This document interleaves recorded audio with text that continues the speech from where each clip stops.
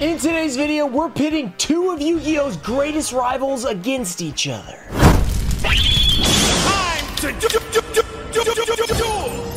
What's up guys, we're back with another epic versus battle video. In this video, we have some legendary collections. We have Legendary Collection Yugi's World, a fan favorite, one of my favorite products to open in general, a really awesome box. It's a very expensive, this is unlimited, this is like a $200 product. So when I decided to pit it against Yugi's rival Kaiba, I decided Kaiba would get not one, but two boxes, because ironically, this first edition box costs about 100 bucks, so two of them is 200. This unlimited Yugi is $200. So the unlimited is twice as much, but it is a much older product, so there's that. But $200 worth of Kaiba versus $200 worth of Yugi in this video. Just to make things fair, because sometimes Yugi cheats. And so does Kaiba. He said he was going to jump off a building. But before that, we have a giveaway. I'll be giving away these three cards. We have the uh, Dark Magician Girl Rush Duel. We have a Rush Duel Dark Paladin and a Rush Duel Dark Magician. All you have to do is like the video, be subscribed, turn on notifications, let me know down below who will win, Yugi or Kaiba. All right, let's start off with one Legendary Collection Kaiba game board. Kaiba only has three packs inside, but there are like four secret rares in each pack. So it's a very interesting combo here. So these are first ed. One way you can tell is look and see if it says first edition on the mini packs there. That will tell you if it's first edition. I don't know if Kaiba even got unlimited. It might have, probably did. It's a pretty good product, but that's just one way to tell on these Legendary Collections. Some of them only have first ed, some of them only have unlimited. And Yugi's World, you have other signs like the, uh, the little window or whatever, but here we go. We have have our promos, and then we have our three packs. So all this space for this, I guess you do get the game board, but I mean, nobody really likes those. If they were rubber, maybe. We are to have totals on the screen, so we're to see not only who will win the battle, but how much did we lose out of our $400? 200 on each side, obviously. So there's our promos. That's to be about $10 value right there, so that adds up, but Yugi's World has one as well. Here we go. Mega Pack. Ash Blossom is inside this, so there's some crazy stuff. There's some really valuable Blue Eye stuff in here as well, like you would think it's like a dollar card, but it's like five dollars because it's blue eyes. So that stuff can really add up. We'll do two from the back because there's two secrets at the front, two secrets at the back. Y Dragon Head, we have Deck Devastation Virus. This was probably money for a little bit a second ago. I don't know if it is now. We have Castle of Dragon Souls. The Fusion Sage, that's a throwback card. Get that poly from your deck to your hand. Eradicate, here's one that was probably big. You know, thanks to Labyrinth, Eradicator Epidemic Virus was crazy. I don't know if it's still money, but I'm going to set it to the side. We have a Shrink, not the prize card. Very cool artwork though. Little pig guy. Looks like a Gamorrean guard from Star Wars. This is what the uh, the Rancor saw right before he ate the, the uh, little dude. Okay, Return of the Dragon Lords. That's a good one. First edition. That's going to be at least $5 right there. Very good for Blue Eyes. Call of the Grave. All right. Very cool. Uh, World Championships 2011 reprint right here. That's very cool. A Assault Core, also very cool. And Cards of Consonance, another Blue Eyes card. Very, very solid. Good stuff so far. And another reason I like these products is you do often pull quite a bit of value. Probably not $100 worth, but I mean, a decent amount of value back already on that first pack. We only have three total though, so we need to continue that to have a chance to even like get close to breaking even. Here we go. We have the V Tiger Jet. Soul Exchange. Kaiba, man, I think the Ash Ash might actually be an Ultra in here, now that I think about it. So it could be in one of these. We have Ring of Destruction, very nice. Double Summon, good print of that card. Ooh, a Ghost Ogre and Snow Rabbit. That's going to be a couple bucks for sure. Very good. Awesome card. Got us a Sweet Revenge. I think this is one of the promos. It is. Secret Rare. For some reason, they put it as a promo here and then a secret in the set, so probably not a great one there. It's not a very good card. Uh, Terraforming, that's money. Very solid. White Stone of Light, this is a great pack. This pack is really good so far. And uh, Neuron, uh, Neutron Blast, that's not a good one either. But uh, honestly, a very strong pack. I think Kaiba's doing well. Here's what their total is. All right, one more pack in the first one. Then there is another one and the Yugi's World. I think we're going to do Yugi's World after this, and then we'll finish with the other Kaiba. Here we go. Four more secrets, but still more Ash Blossom potential. Uh, when I first opened this, I've said this many times on the channel, I pulled two Ash Blossom in one game board, which back then paid for like double your game board, which is crazy. Just those two cards. Ghost Reaper, very solid. Master with Eyes of Blue. We have Tyrant Burst Dragon. The Protector with Eyes of Blue. Come on, Kaiba. What have you got? You got Fang of Can you beat Yugi finally? Without jumping off a cliff, we have a B-Buster Drake. Okay, not crazy. Enemy Controller. I think this had a little resurgent. Could be maybe a dollar. I don't know. Flute of Summoning Dragons—it's it's Blue Eyes, but not a very good card. And a Dragonic Tactics. That's definitely the worst one so far. Uh, overall, not a bad game board, but definitely not the best way to end it. All right, it's time to bring in Yugi. Yugi, you only have one board, so you gotta gotta go off. There are five packs in here though, but you have one chance. You gotta get way ahead so the last type of game board can't catch you. Here we go. This is such a fun product to open, but it's ridiculously expensive, even unlimited. I mean, $200 is insane. The first edition like four, 500. It's ridiculous. It's something stupid. So yeah, getting this is a very, very difficult product. Opening it up, usually not worth it. You're probably not going to pull $200 worth. Okay, but it is a fun one. It is really cool, the Sulavari Calcos. Let's see. We have the promos there and then our five mega packs. They look so cool though. I remember they had like a rewave of these in like Walmarts for, it was like 2019 or 18. They're like 30 bucks. So this promo pack, I don't know the exact value. We're going to have it on the screen, but that's going to be a decent one to add. Uh, and then I don't know if it counteracts both of those Kaiba promo packs though. We have five packs here. A lot of awesome secrets, but the problem is this is like a 300 card set. So you can easily get terrible, terrible cards and not get the good ones. Dark Magician Girl's in here. The Exodia set's in here. Dark Paladin, I think, is in here. Dark Sage, I think, is a money card, is a common right here. So that's pretty solid. Looking good. Uh, I don't know if there's a pack trick, so I'm just going to go through it. We have Dark Sage. Black Luster Ritual. We have the Toon Cannon Soldier. I think there's definitely a pack trick then if it's this early on the rare.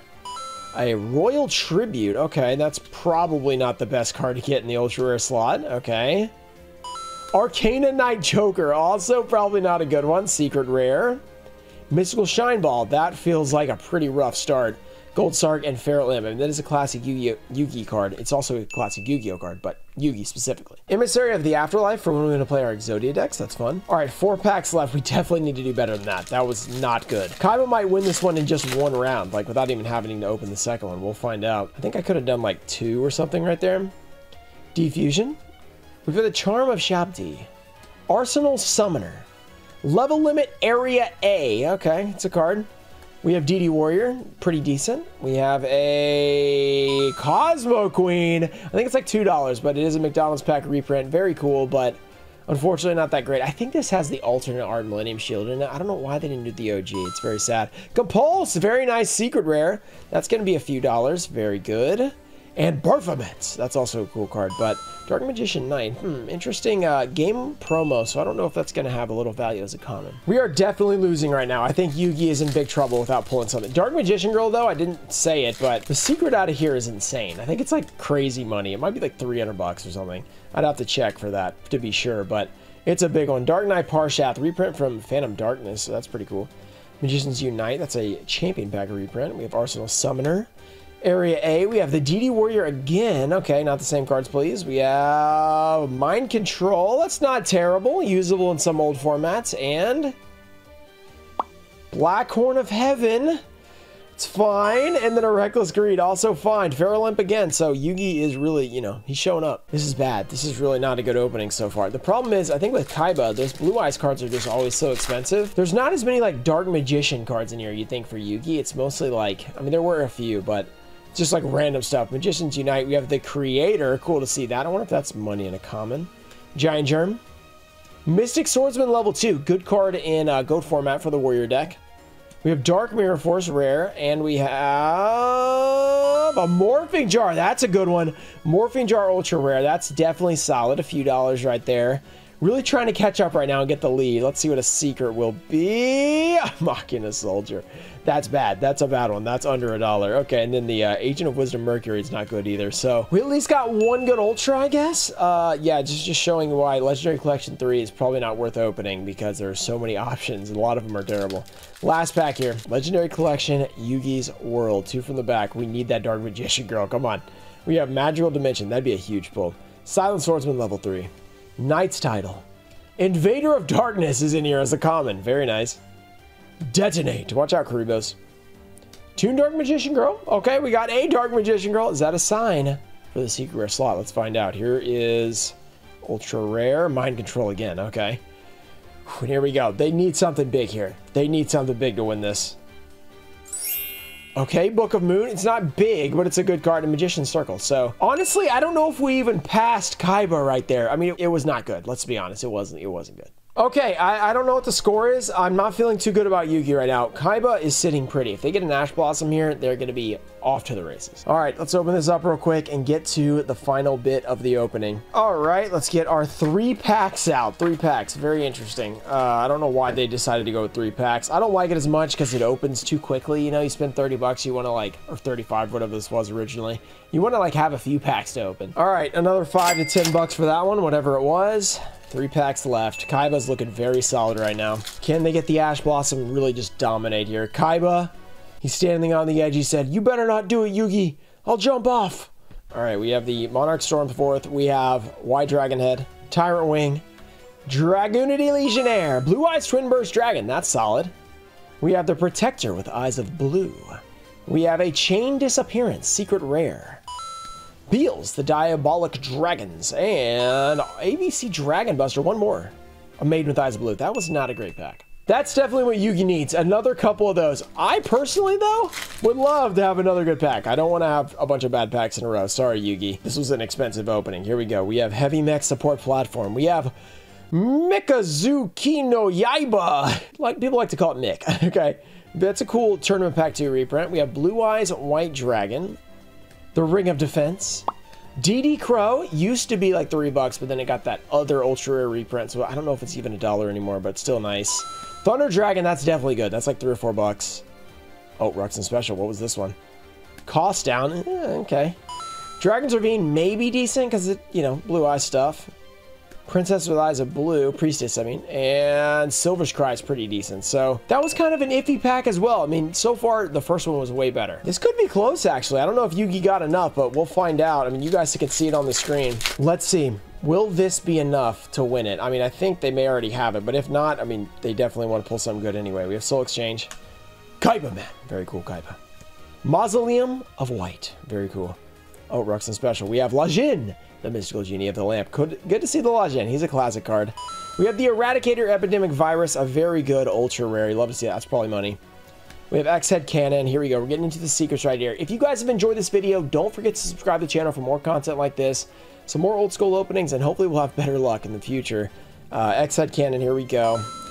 Polymerization Secret. This is money. We didn't get the Ash. I think it's all Ultra, so no Ash, unfortunately.